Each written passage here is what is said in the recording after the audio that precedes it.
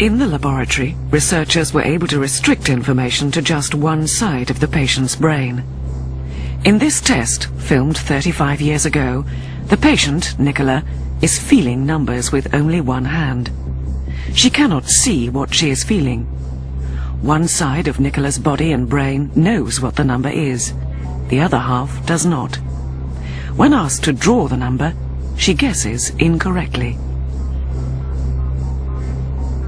This clearly indicated that each half of the brain was not communicating the information to the opposite side of her body.